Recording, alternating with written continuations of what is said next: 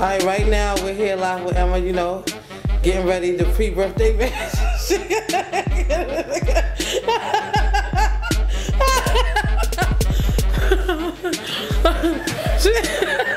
She's about to get her makeup done by the world famous The Lissette.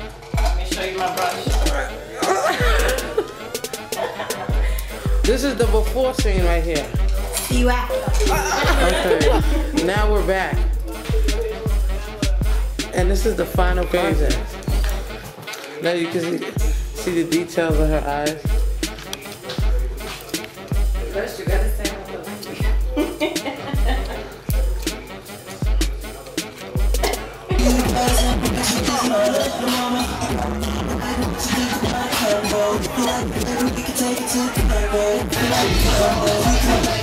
With with up, G, up, G, G,